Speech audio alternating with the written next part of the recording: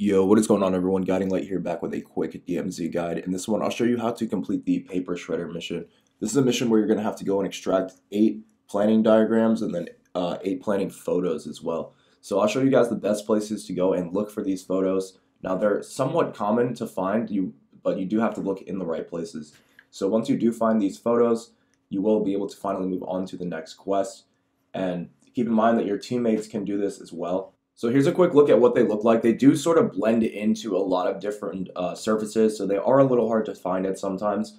But if you come over to these specific locations I'll show you in this video, it will be a lot easier to find. So what you want to do is you're going to find these little houses and these little towns that are right next to the named locations. So you'll notice that the named locations are like these big cities and towns, and then to the side there'll be these little shacks that are all clustered together in these uh, little areas.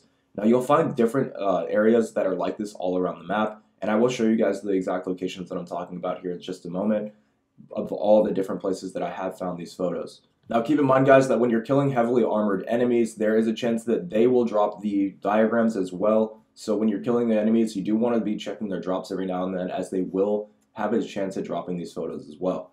So like I said guys, the best place to look are definitely going to be these small clusters of little neighborhoods that don't have names on them. So you'll notice when you when you zoom in, you'll find all these little houses that are super clustered together. Now hydroelectric is the only one I believe that does have a name to it that actually will work.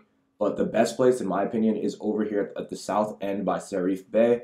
There's a couple little, uh, I'll just call them colonies on the side that will have a bunch of the photos in them. So you'll start here at the lighthouse if you spawn there, work your way north up to these two villages here, and you should find at least three or four diagrams just in these little clusters in this small area. So that was the place I had the best success was down south by the Sarif Bay. However, you can check any of these small neighborhoods to the side of the name locations and you will have a chance at finding these photos. So hopefully this helps you guys out if you guys have been struggling to find them and I will catch you guys in the next video. Peace.